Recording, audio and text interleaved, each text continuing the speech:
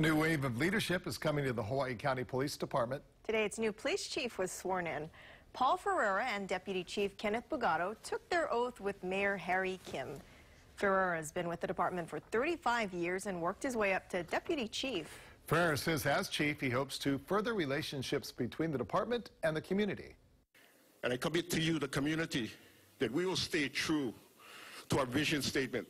And that is the Hawaii Police Department is committed to providing the highest quality of police service and forming partnerships with the community to achieve public satisfaction, making the Big Island or Hawaii Island a safe place to live, visit, and conduct business. Police Chief Harry Kubojiri retired at the end of last year.